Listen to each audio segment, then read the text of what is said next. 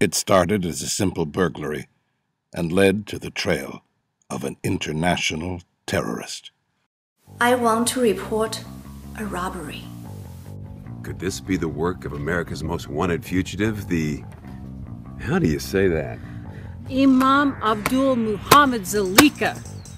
Mel Sobel, the Imam. I'm Mel Sobel. Who the devil is Mel Sobel?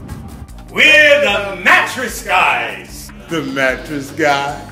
He should be airlifted to The Hague. That's where they try war crimes, right?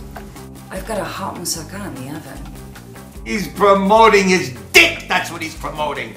But that's Mr. Sobel. Yeah. Numero uno on the FBI's most wanted list. LAPD! I'm looking for Mel Sobel. Homeland Security! Raise your hands, all three of you.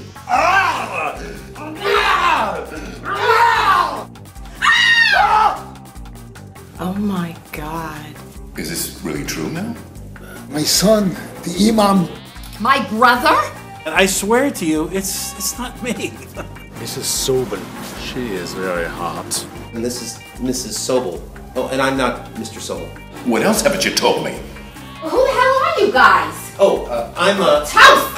Ow! My eyes! Oh! Oh! Where are the scallops? You have 48 hours to pay me back my money. There is a dead man in my bathtub. You're so horny. I've been in prison for six months. What do you expect? Are you or are you not the Iman Zalika? Mr. Sobel is the Imam. I'm not the Imam! If one word of this chicanery gets out, one word! The mattress guy?